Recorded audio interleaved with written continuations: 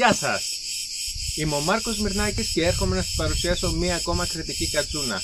Καιρό είχα να σας δείξω καινούργια κατσούνα και αυτό που με χαροποιεί ιδιαίτερα είναι ότι μου στέλνατε μηνύματα και μου ζητούσατε.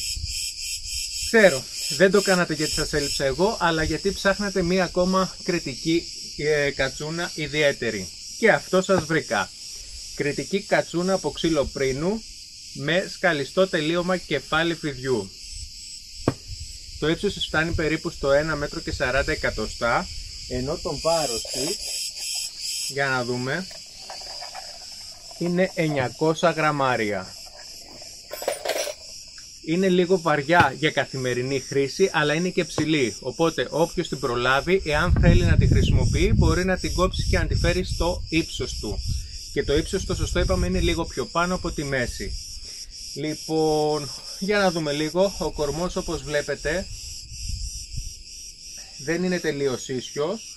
Κάνει κάποιες έτσι ωραίες κούρμπες. Το ξύλο του πρίνου το ξέρετε, είναι σκουρόχρωμο. Έχει πολύ όμορφους ρόζους. Ήρθε η ώρα να βγάλουμε τη μεζούρα και για να δούμε το πάχος. Το πάχος του και την περιφέρεια, ας το πούμε πιο σωστά, του κεφαλιού του φιδιού όπου φτάνει ουσιαστικά στα 15 εκατοστά. Βλέπετε το κομμάτι που μετράω είναι το κεφάλι του φιδιού. Ο κορμός της κατσούνας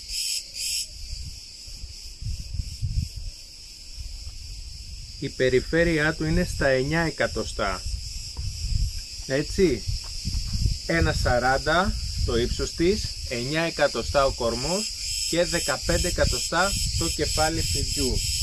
Δείτε λίγο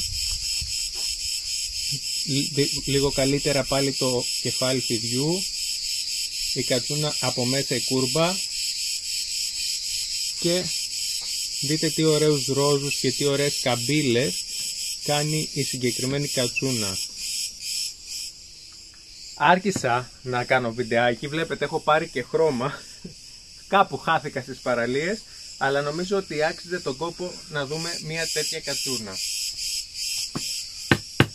είναι ανθεκτική, είναι στιβαρή και έχει πάρα πολύ ωραίες καμπύλες.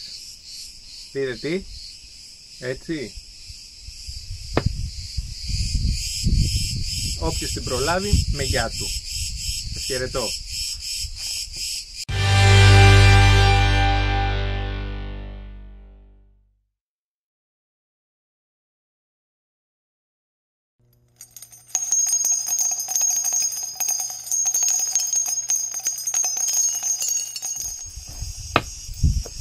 Μήνυμα για τους καινούριους χρήστες.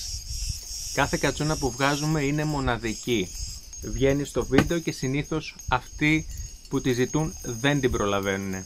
Ο πρώτος μόνο. Γι' αυτό λοιπόν, αν δεν έχετε κάνει εγγραφή στο κανάλι, κάντε και εσείς εγγραφή έτσι ώστε αν δεν προλάβετε αυτή, να προλάβετε την επόμενη.